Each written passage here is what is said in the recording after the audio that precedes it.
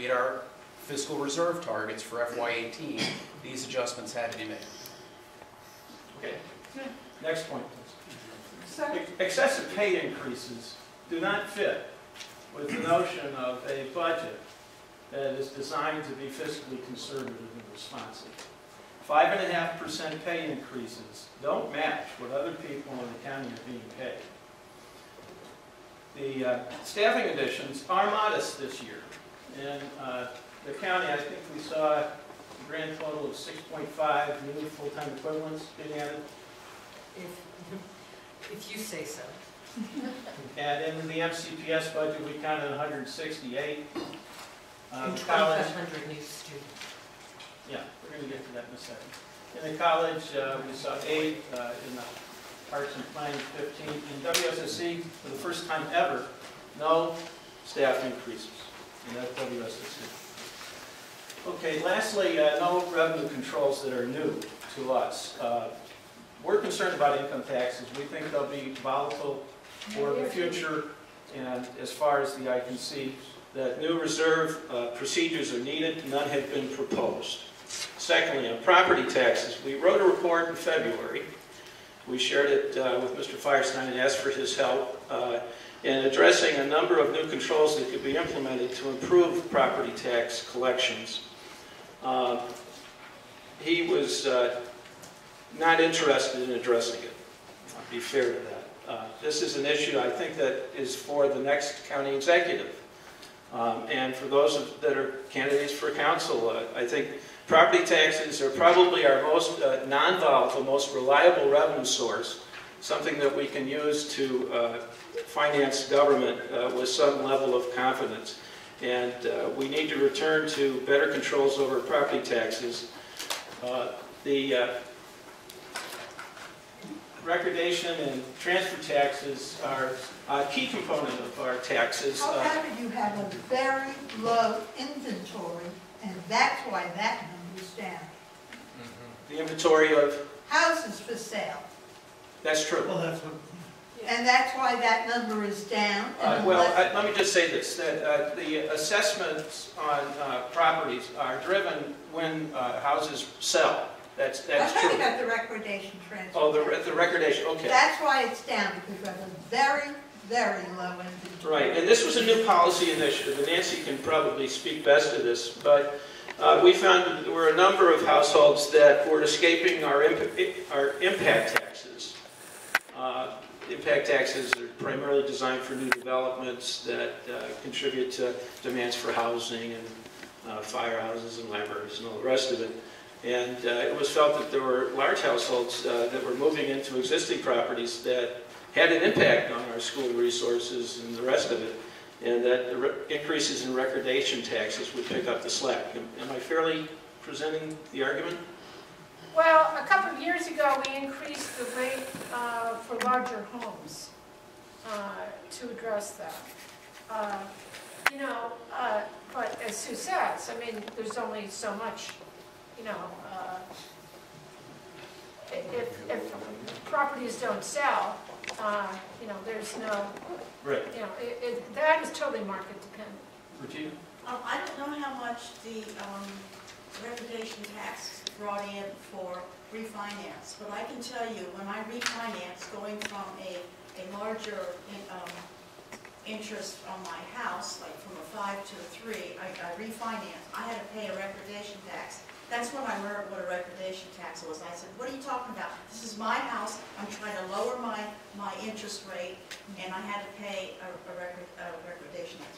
What I'm thinking is maybe because you, there is no more lower rate, in other words, people are not refinancing, because I, I don't know how much revenue the county was getting from recordation taxes from refinancings. I know that I, I didn't even know I had to pay this. Well, but the I'm blooms just- out on refinancing as rates go up. And that plays into the revenue as. Yeah.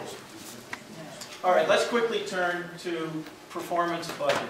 And three examples of how performance budgeting might inform a budget that, uh, so the, the strategic plans are key to performance budgeting.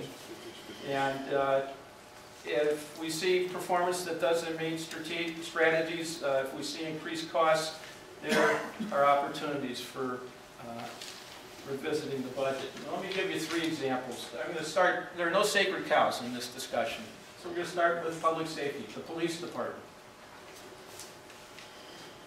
Crime's down, but the staffing is bloated in this department, especially investigations where closure rates for each type of crime have dropped.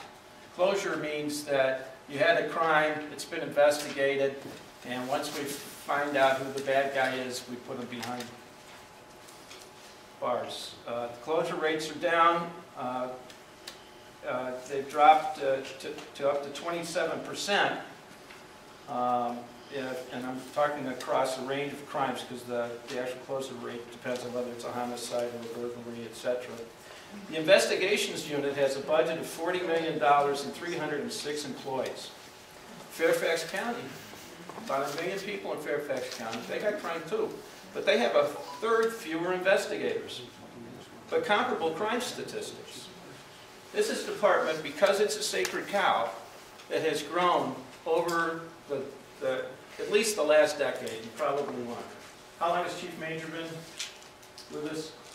It's uh, um, probably 15 years. Over 15 years, that budget's grown. It's time to take a fresh look at it, and, and I think the, the investigation unit's a, a place that uh, could easily absorb reductions without any decrease in performance. Actually, can, just to, since uh, the chief isn't here to make his own case, I will make a case for him. He has statistics that show that on a per capita basis, Montgomery County is far behind Fairfax, behind any other jurisdiction of a comparable size. And how the department is organized may differ from one jurisdiction to another, and perhaps some of their uh, beat officers do some of the investigations, and uh, that's not something that, that I think I'm uh, able to make a judgment about, uh, but I don't think that uh, the statistics that you're presenting on the police department give the full picture. We'd like to see an independent study done. That's up to the next executive for all of you in the room that are thinking about that job. Turn to HHS next. Very big part of the budget. A Very important part of the budget in terms of how we help folks in our county who need the most help. Uh, There's a small program within that large budget called Linkages to Learning. It's a $6 million program.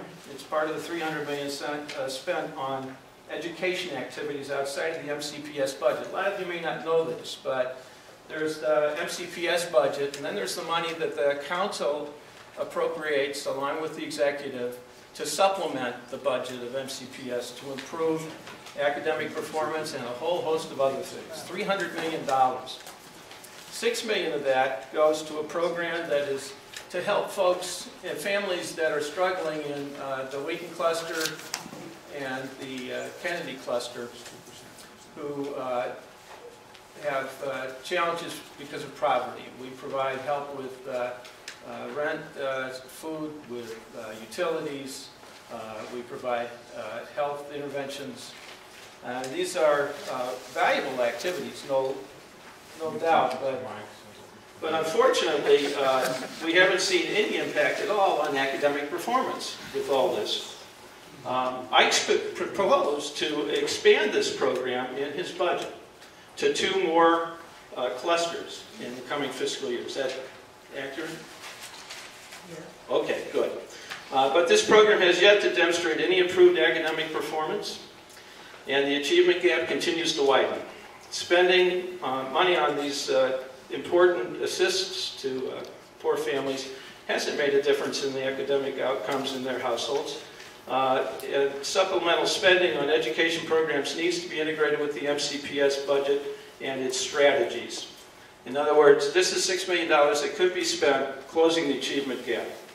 Well, maybe it is. Maybe it would be worse. If Well- we didn't, we don't know for I sure. mean, the But, other, and, and let me say, we do evaluate this in the course of the budget, and we have raised these kinds of questions, the council does, Okay. when we go through this stuff. Inside But you baseball, can't folks. prove- You can't, well, it's not inside, I- it's I've got inside baseball. you're welcome to come to the committee meetings. I I have inside Finish. baseball. Uh, There is a report prepared on linkages to learning that's bottomed up in MCPS and hasn't seen the light of day because it has adverse outcome details. We'd like to see that liberated. Well, I, I think the other, you're, um, you're not fully explaining the goal of linkages to learning. It is in part um, a, an academic uh, goal, but it also has to do with the health of not just the children that it serves, but linkages is intended to serve the families of those children. So it, it, it is school-based because that is how you can best reach the families. But it has many components beyond the academic, and that's why it is actually um, appropriated in the county government budget. Okay. Third example. None none of these are going to be easy. It's going to take a lot of advocacy to change the status quo, I guarantee you. Right on transit. $112 million budget, grown year after year, while average ridership has dropped. Region-wide, ridership on buses has dropped 6% in the last year. Largely, there are a number of analyses of this, but one of the number one factors is that Poor folks have now got private forms of transportation and they're using them.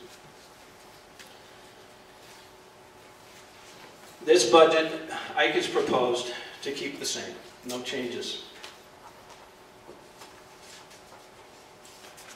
Okay, I want to turn now quickly to MCPS. It's a big growing budget. My God, it is a big budget. You could mine coal with that. It doesn't have a strategic plan linked to performance.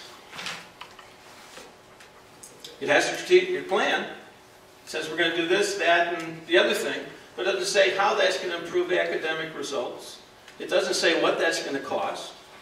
It's really just a wish list. Number one point, enrollment increases are included in maintenance of effort. So when we fund MCPS at the maintenance of effort level, we're paying for increases in enrollment. You might ask then, what do we get for the extra $19 million that the executive has suggested we fund in addition to the maintenance of effort? I don't know. I've looked at the budget upside down, backwards, inside out. There's no strategic plan to reduce the widening achievement gap. Last year, as I said, our independent analysis said that it grew, the gap, between African Americans and Hispanic Latino kids and white Asians grew in external measures of math performance. It uh, stayed the same in literacy. This data is normally published in the February presentation to the school board. This is the first year that didn't happen. Wonder why? We wrote the uh, uh, principal and uh, principal, the superintendent of schools, and asked him for this data. He said, "Well, let me let me think about it." We got a response from his chief of staff saying, "Well, we'll release that data when it's appropriate." And I quote. Since this request was made only a month ago, I assume the answer will be that we'll know the numbers after the budget's approved. This should be a source of embarrassment to many people, not simply because the achievement gap is getting wider, it's been getting wider for years. We first started talking about the achievement gap in the 70s, and that's all we've done ever since is talk. We still don't have concrete strategies with a budget and performance targets. The MCPS base budget is uh, $2.5 million, and it's not crosswalk to strategies. Only the budget increases. That's in Table 1A, my favorite table, if you have a chance to dive into that budget. Strategic priorities in that table are only 22% of the proposed budget increase. Guess what the rest of it is? It's mostly for salaries and benefits to maintain the status quo. We have uh, a base uh, increase and strategic and longevity increases that are being negotiated as, as we sit and stand here that are subject to negotiation, and none of it's based on performance. It's based on time and grade. Our teachers are paid 15% more than their peers in Fairfax and Howard County, who have excellent SAT scores, excellent academic outcomes. And we have very generous supplemental pension and health plans. West this, this distresses me the most. I live in East County. I was uh, president of the Booster Club and vice president of the school board, of the uh, PTA for school improvement for 10 years. And I got to meet a lot of the kids who struggle academically. They're great kids, and oftentimes their, pro their problems are because we aren't doing a good job in the classroom with them. One of the reasons is that West County teachers are paid on average 6% more than East County teachers. The school system knows this. They won't brag about it, it's nothing to brag about. But we pay teachers based on seniority. And we also have a process called free agency. This was negotiated with the union years ago. It allows any teacher in East County who's unhappy for whatever reason to get up and leave and go to the West County. Who wouldn't? In West County, they have shorter school days, fewer classroom interruptions, and better career paths. I wouldn't blame anybody for making that choice. The problem is that we don't have any strategies to address it. So if you want to have an impact in the achievement gap, but you're telling, telling me that you're paying your teachers 6% less, and whenever a, a teacher becomes seasoned and experienced, you allow them to leave, and principals in East County tell me, and I'm sure anybody in the school system has heard this, that the number one thing that principals in East County schools do is retrain replacement teachers. Uh, we're kind of spinning our wheels here on the achievement gap. Teachers have received 37% uh, in pay increases over the last 10 years. Uh, A Lattice program, a program to keep teachers in East County, was quietly discontinued last year. Continuing previous trends, we try to tackle the achievement gap in East County with para-educators. These are not certified teachers. These are folks like us. We've been doing this for years because teachers are just too darned expensive Whenever you increase the pay of anybody that's delivering a service, and this isn't just MCPS, this is in general county government, service will deteriorate unless you increase the budget because the unit cost of service delivery just went up. High benefit costs due to generous defined benefit retirement plans. There aren't many of those left in the, in the country, let alone in the county. General county employees have a defined contribution plan. The defined benefit plan says you're going to, you're guaranteed to give this much. And a very, uh, what I That's a call a law thing, isn't it? I think that's a product of state law. Oh, well, this is Somebody else. Yeah, both, both of our uh, monopolies in this county are uh, products of, of state engineering. Uh, In the case of uh, MCPS, it's, it's they actually supervise uh, the school system. Our inspector general isn't allowed to look at them. And uh, we do not approve their, any component of their budget. We approve their budget in the aggregate. Well, I, I think also it's important to note that um, the general county employees in Montgomery County since 1994 have been in a defined contribution plan. We did that thinking that everyone else would follow suit. In fact, there are very few, very few other government entities around the country that have a defined contribution plan. And I'm not aware of any school system. So when you want to do comparisons, on one hand, you need to make sure that you're doing it on, you know, fairly on We do that. things. So we look at total compensation in this region. But, but the But- other, but my the- the other thing is, everyone needs to understand, the school system is technically a state agency in many respects. We contribute, we pay their bills, and we supplement a lot of their services with other things. But they are governed by state law, and that precludes uh, our engagement in a lot of these things. I will tell you, though, uh, two years ago, when I was council president and I proposed a tax increase, I'm the one who negotiated with the school system. And because then again, the additional dollars were supposed to go largely to compensation. And actually, the full council agreed we weren't going to do that.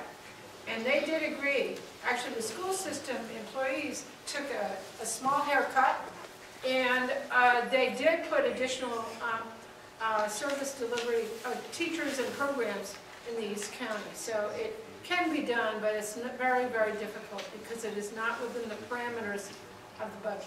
Okay. Last point, we've already covered this, 45 cents of every dollar we give MCPS goes to overhead. When you include the generous defined benefit plan and the Cadillac Health Plan, almost 75 cents out of every dollar goes to something that does have any impact at all on academic performance. Let's turn to WSSC real quick. This is the other fun one. This is also a, a state law enabled organization. That's because we share them with Prince George's County, have forever. Uh, WSSC, if you account for their budget of almost $800 million, brings our total budget much closer to $7 billion in the aggregate. You might ask yourself, what's the difference between WSSC and other county services? Well, WSSC is independent uh, from the county in terms of its uh, debt uh, authority. It has its own budget, although its budget is approved by the county, as well as Prince George's County. Both counties approve the budget. When we approve the budget, uh, we basically approve a rate increase. That's what hits your quarterly water bill. This year, the negotiated compromise is 4.5%. Prince George's County proposed 4%. County Exec Ike Ike Leggett proposed 5%. They met in the middle after negotiating on some capital budget items at 4.5%. You might ask yourself, well, what do I get for that 4.5%? The water still tastes the same. No, it's worse. Well, we, we can talk about, that's not a budget issue, so we'll, we'll stay off of that. Um, Rates can't continue to increase at this pace. Part of the problem is that our revenues from other sources other than the rate base are shrinking. System development charges.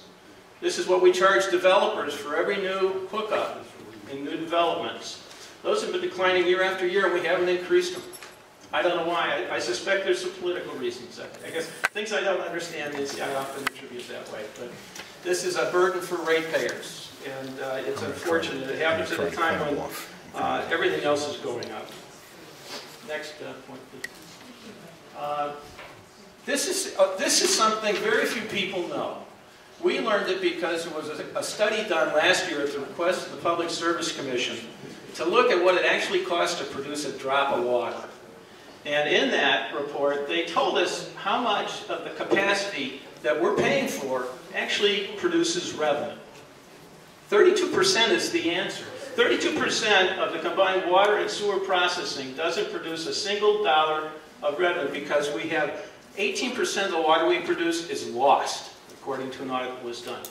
Some of that's because of leaky pipes. Some of that's because valves in places big users at NIH are ancient and undermeasure the, the amount of consumption.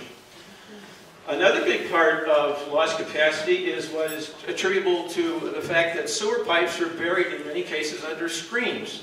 And water infiltrates into those pipes and has to be processed along with sewage. And that infiltration rate is a tremendous uh, 45, 40, 45, 45%. Forty-three percent. 43%, thank you. Uh, Combined, this is 32% of the capacity that doesn't generate revenue, but we're paying for it. We, there is no benchmarking data that we've been able to find on this, but we would like to see a study, and I'm going to get to that in a second.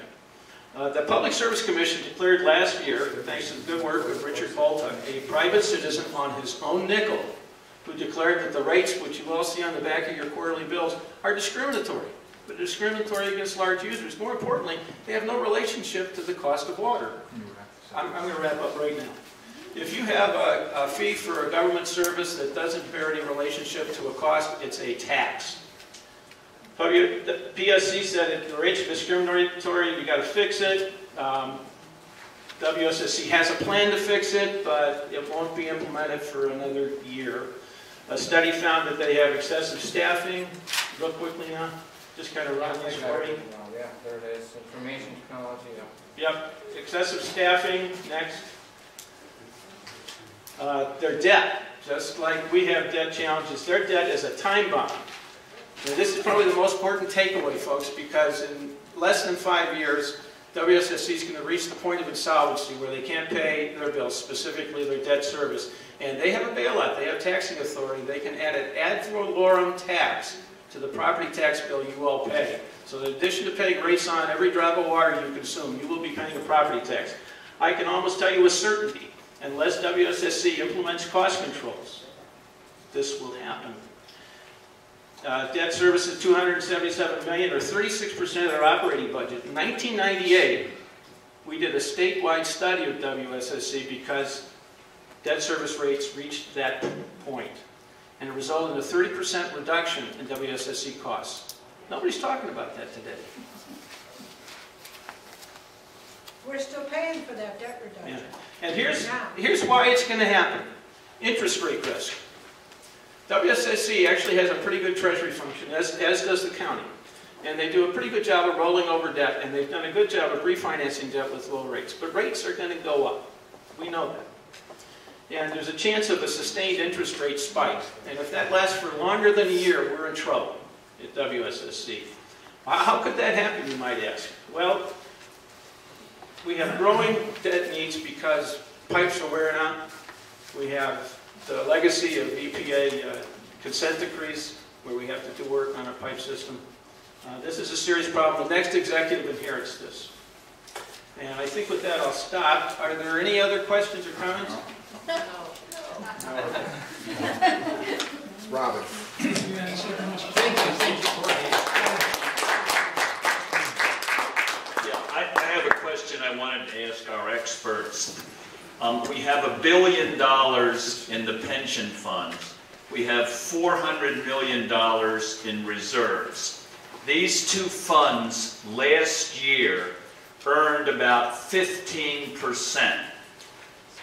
This was the best year last year in the stock market in the last 30 years. As a result of earning 15%, they took $22 million out of the reserves and put it for spending. The amount invested, and I'll just name two stocks that you might have heard of. Amazon.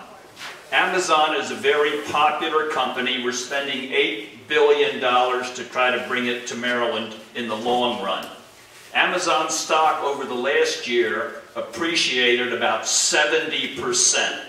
And yet only a minuscule amount of both the reserves and pension funds were invested in Amazon stock. Another stock you might have heard of, Apple, which is the stock that Warren Buffett, the most famous investor in America, has increased more than any other stock of his holdings in the last year. Our pension funds and reserves are invested only a minuscule amount in Apple stock. Yeah. Why aren't we getting, why aren't we getting a better return do this at a campaign. why, why aren't we getting a better return in our $1 billion in pension funds and $400 million in reserves? Why are we getting less than index fund returns? I'll now pass it on to our ex officio member of the retirement. Yeah, well, there are three of us actually um, sitting up here, and I've been on the board for the whole time that I've been the OMB director for seven years. Alex joined a year and a half ago when um, he became the finance director. Marlene is our newest member. uh, When she became council um, executive director, she was also appointed.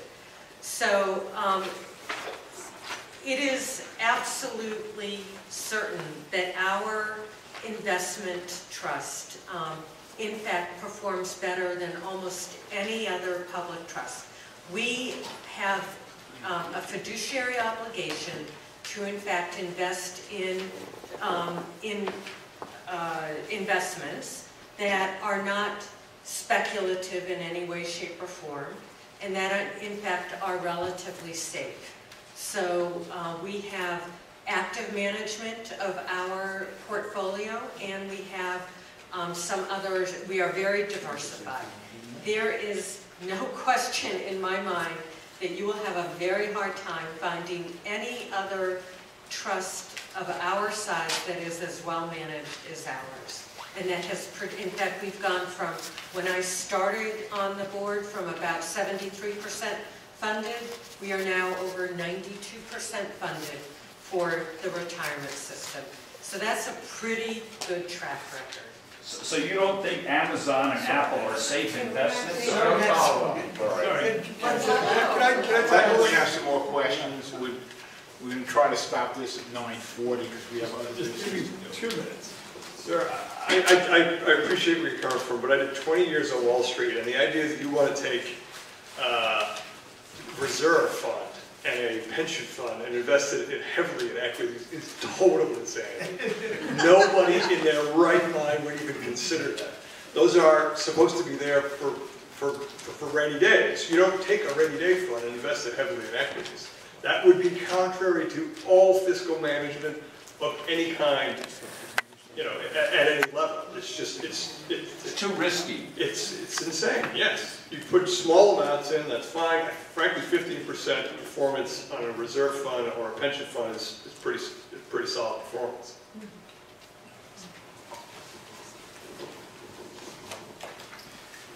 Well, well, following up on, on, I, I, I like, I like, I, I like to wonder if, if, if the, if, if the current, uh, ca- uh, county, uh, county budget reports, uh, also, also account, uh, uh, also, uh, also account for what, what, what, spending will be reduced or cut, given, given this year's in- investments for- for- toward- uh, towards, towards the Amazon package.